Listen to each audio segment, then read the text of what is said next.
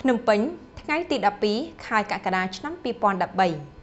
ឯកឧត្តមវ៉ាងយីរដ្ឋមន្ត្រីការបរទេសនៃសាធារណរដ្ឋប្រជាមានិតចិនពេកាំងឯកឧត្តមជាទីរាប់អានខ្ញុំមានសេចក្តីសមណោះរីករាយសូមអបអរសាទរដ៏កក់ក្ដៅបំផុតជូនចំពោះឯកឧត្តម ក្នុងឱកាសខួបអនុស្សាវរីយ៍លើកទី55នៃការបង្កើតទំនាក់ទំនងការទូតរវាងព្រះរាជាណាចក្រកម្ពុជា និងសាធារណរដ្ឋប្រជាមានិតចិន និងឆ្នាំមិត្តភាពកម្ពុជាចិន2013ចាប់តាំងពីការបង្កើតទំនាក់ទំនងការទូតរវាងប្រទេសយើងទាំងពីរនៅថ្ងៃទី19ខែកក្កដាឆ្នាំ1958មក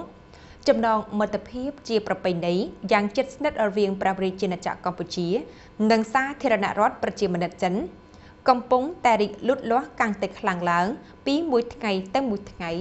និងកិច្ចសហប្រតិបត្តិការប្រកបដោយផ្លែផ្កាត្រូវបានលើកកម្ពស់ទៅកម្រិតភាពជាដៃគូយុទ្ធសាស្ត្រគ្រប់ជ្រុងជ្រោយនៃកិច្ចសហប្រតិបត្តិការដែលធ្វើឲ្យភាពជាដៃគូនិងកិច្ចសហប្រតិបត្តិការរបស់យើង កាន់តែស៊ីជម្រៅយ៉ាងពិតប្រាកដលើគ្រប់វិស័យ។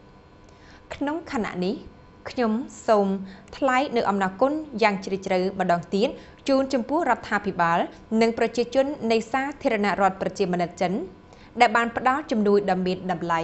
និងមិនអាចកាត់ថ្លៃបានដល់កម្ពុជា ទាំងពេលអតីតនិងបច្ចុប្បន្នកាល។ ខ្ញុំមានជំនឿជឿជាក់យ៉ាងមុតមមថាខូបអនុសាវរីយ៍លើកទី55នៃការបង្កើតទំនាក់ទំនងការទូតរបស់ប្រទេសយើងទាំងពីរនិងឆ្នាំមិត្តភាពកម្ពុជាចិន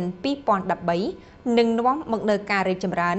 និងវិបុលភាពជាច្រើនជូនប្រជាជន និងប្រទេសយើងទាំងពីរខ្ញុំសង្ឃឹមថា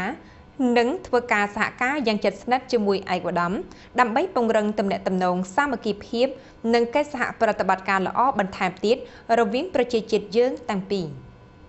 សូមឯកឧត្តមទទួលនឹងការគោរពរាប់អានដ៏ខ្ពង់ខ្ពស់អំពីខ្ញុំហៅណាំហង